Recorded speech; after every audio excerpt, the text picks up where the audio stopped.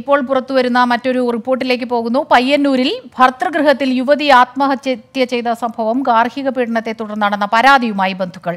പയ്യന്നൂർ കോറോം സ്വദേശി സുനീഷയാണ് ഭർത്തൃഗൃഹത്തിൽ തൂങ്ങി മരിച്ചത്. ഭർത്താവും വീട്ടുകാരും മർദ്ദിക്കാറുണ്ടെന്ന് പറഞ്ഞു. സുനീഷ സഹോദരനുമായി നടത്തിയ ഫോൺ സംഭാഷണം പുറത്തുവന്നു സംഭവത്തിൽ പയ്യന്നൂർ പോലീസ് കേസെടുത്ത് അന്വേഷണം തുടങ്ങി. പറയണം മോനും. എന്റെ അമ്മി. എന്റെ അച്ഛനും കൂടി കൊന്നില്ലേ പാ. കെട്ടി തൂക്കില്ലേ നീ എന്റെ എന്റെ മോൾ എഴുന്ന് ഓടിപ്പോവാനല്ലേ അവനാക്കി നീ. ഓടിയിട്ടല്ലേ എന്റെ മോൾ പോയി നീ? എന്നെ പൊന്നു പോലെ സ്നേഹിച്ച മോളല്ലേ. അവസാനം എന്നെ കണ്ടുകൂടാണ്ട് ഓടിയിട്ടല്ലേ പാ പോയി നീ. പിന്നെ ഒന്ന് വന്ന ജീവനെ പിന്നെ പിന്നെ എന്റെ മോക്ക് അടുത്ത് വരില്ലോട്ടായില്ലേപ്പാ അവർ തലനും കുത്തലും ആയില്ലേപ്പാ പട്ടണം വരെ കൊടുക്കാണ്ട് കൊന്നില്ല എന്റെ മോളെ. അത്രോട്ട് ഞാൻ കൂട്ടാൻ പോയി.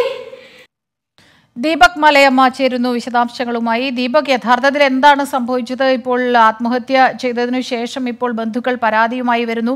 സഹോദരനോട് ഇക്കാര്യം നേരത്തെ സൂചിപ്പിച്ചിരുന്നു എന്നും പറയുന്നു. എന്താണ്?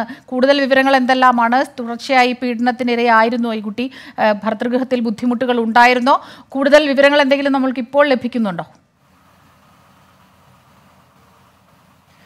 സ്മിത ഈ ആത്മഹത്യ ചെയ്ത സുനീഷയും ഒപ്പം തന്നെ അവരുടെ ഭർത്താവ് വിജേഷും ഒന്നര വർഷം മുൻപാണ് വിവാഹിതരാകുന്നത് അത് പ്രണയവിവാഹമായിരുന്നു. അതിനുശേഷം വലിയ പരാതികളൊന്നും തന്നെ ഉണ്ടായിരുന്നില്ല. പക്ഷേ ഈ മാസം അഞ്ചാം തീയതിയാണ് ആദ്യമായി സുനിഷയുടെ അമ്മ പയ്യന്നൂർ പോലീസിലൊരു പരാതി നൽകുന്നത്. ആ പരാതി പ്രകാരം ഇത്തരത്തിൽ പീഡനം നടക്കുന്നു എന്നുള്ളതായിരുന്നു.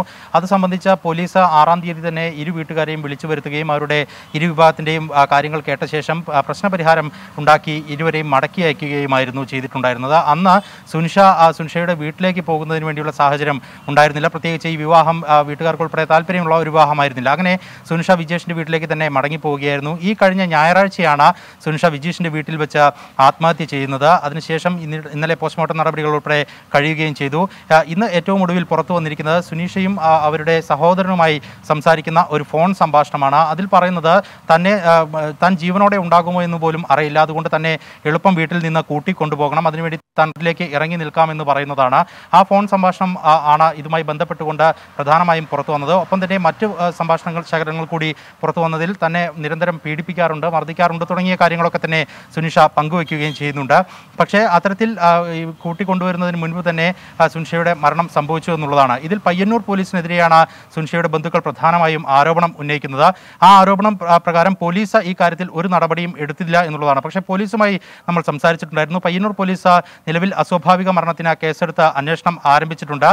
ഒരു വീട്ടുകാർ തമ്മിലുള്ള തർക്കം എന്നുള്ള നിലയിൽ മാത്രമാണ് ഇത്തരത്തിലൊരു പരിഹാരത്തിലേക്ക് പോയത്. ഗൗരവതരമായ വിഷയങ്ങളൊന്നും തന്നെ അറിയിച്ചിരുന്നില്ല എന്നുള്ളതാണ് പയ്യന്നൂർ പോലീസിന്റെ ഭാഗത്തു നിന്നുള്ള ഒരു വിശദീകരണമായി ഈ ഒരു ഘട്ടത്തിൽ പുറത്തേക്ക് വന്നിട്ടുള്ളത്. ഒപ്പം തന്നെ പോസ്റ്റ്മോർട്ടം റിപ്പോർട്ട് പ്രകാരം ഇത് ഒരു പ്രോപ്പർ ആത്മഹത്യയാണ് എന്നുള്ള നിഗമനം തന്നെയാണ് ഉള്ളത്. ബാഹ്യമായ ഇടപെടലുകൾ ഒന്നും തന്നെ ഉണ്ടായിട്ടില്ല എന്നുള്ള റിപ്പോർട്ട് കൂടി ഈ ഒരു ഘട്ടത്തിൽ പുറത്തു വരികയും ചെയ്യുന്നുണ്ട്. ഏതായാലും പോലീസ് ഈ കാര്യത്തിൽ ഫോൺ സംഭാഷണത്തിന്റെ ആധികാരികത ഒപ്പം തന്നെ ഏതൊക്കെ തരത്തിലാണ് പീഡനം നടന്നിട്ടുള്ളത് എങ്കിൽ അത് തുടങ്ങിയ കാര്യങ്ങളൊക്കെ തന്നെ അന്വേഷണ കൂടുതൽ വിശദാംശങ്ങളുമായി ചേർന്നത്. പയ്യന്നൂരിലെ യുവതിയുടെ മരണം ഭർത്തൃവീട്ടിലെ പീഡനത്തെ തുടർന്നെന്ന് പരാതിയുമായി ബന്ധുക്കൾ രംഗത്ത് വന്നിരിക്കുന്നു.